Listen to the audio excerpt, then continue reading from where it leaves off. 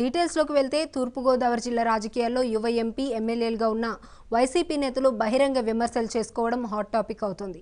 Rajanagaram MLA Jakkampudi Raja Rajahmundry MP Margani Bharat ఇద్దరు ఒకరిపై ఒకరు ఆరోపణలు చేసుకుంటూ రచ్చ చేస్తున్నారు. వీరిద్దరిని వైసీపీ హైకమాండ్ కూడా సముదాయించలేకపోతోంది. ఫలితంగా విభేదాలు అంతకంతకు పెరిగిపోతున్నాయి. వారం రోజుల కిందట సీతానగరం ప్రభుత్వ జూనియర్ కళాశాల గణిత అధ్యాపకుడు పులుగు దీపక్ అనే వ్యక్తిపై కొంతమంది దాడి చేశారు. వారంతా రాజానగరం ఎమ్మెల్యే రాజా అనుచరులు. ఆయన ఎంపీ భరత్తో సన్నిహితంగా ఉంటారు. కొన్ని సేవా కార్యక్రమాలు కూడా చేపట్టారు. కొన్ని వివాదాల కారణంగా ఆయనను ఓసారి ఎమ్మెల్యే పిలిపించి హెచ్చరించారు.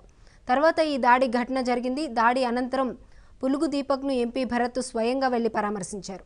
అండగా ఉంటానని హామీ ఇచ్చారు. గాయపడిన టీచర్ దీపక్ తనపై ఎమ్మెల్యేనే దాడి చేయించారని ఆరోపించడం ఆయనకు ఎంపీ భరత్ అండగా ఉండటంతో ఇద్దరి మధ్య విభేదాలు తీవ్రమయ్యాయి. ఎమ్మెల్యే రాజా భరత్పై తీవ్ర వ్యాఖ్యలు చేశారు. దానికి ప్రతిగా భరత్ స్పందించారు. పార్టీకి విధేయుడిగా ఉంటున్నా అన్నారు భరత్ కొంతమంది కుహనా నాయకులు నా గురించి ఇష్టం వచ్చినట్లు మాట్లాడుతున్నారంటూ జక్కంపూడి రాజాపై మండిపడ్డం ఎంపీ భరత్ టీడీపీ నేతలు బుచ్చయ్యతో పెందుర్తి వెంకటేష్తో తాను కుమ్మక్కయ్యానని సాక్ష్యాలు ఉంటే బయటకు పెట్టాలని సవాల్ విసిరారు.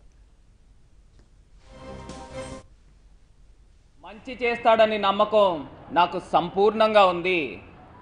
మీ చల్లని ఆశీసులు మీ చల్లని దీవెనలు భరత్ పైన ఉంచాల్సిందిగా మిమ్మల్ని అందరినీ కూడా కోరుతున్నాం.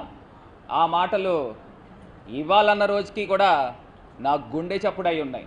మరి అంత పెద్ద బాధ్యత నాకు ముఖ్యమంత్రి గారు నాకు ఇవ్వడం జరిగింది. ఏదైతే ఒక పార్టీకి లక్ష్మణ గీత ఉంటుందో ఆ గీతను నేను ఎప్పుడు కూడా దాటను. పార్టీకి తలవంపు తెచ్చే కార్యక్రమం ప్రభుత్వానికి చెడు జరిగే కార్యక్రమం నా జీవితంలో ఎప్పుడు కూడా నేను చేయను. ఇవాళ కొంతమంది నేను మళ్ళీ చెప్తున్నా నేను ఈల్డ్ గాను.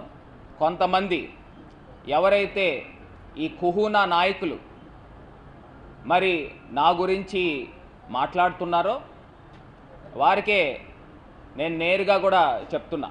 ఏది బుచ్చయ్య చౌదరి గారితోనూ పెందుర్తి వెంకటేష్ గారితోనూ నేను కుమ్మక్కైపోయి రాజకీయాలు చేస్తున్నానంట. ఎంతకన్నా హాస్యాస్పదం ఎంతకన్నా విచక్షణ లేకుండా మాట్లాడడం. ఇంకొకటి ఉంటుందా? మీ దగ్గరే కనుక ఎవిడెన్సెస్ ఉంటే ఎదురుగుండా పెట్టండి. ఛాలెంజ్ ఇది ఓపెన్ ఛాలెంజ్ ఎదురుగుండా పెట్టండి.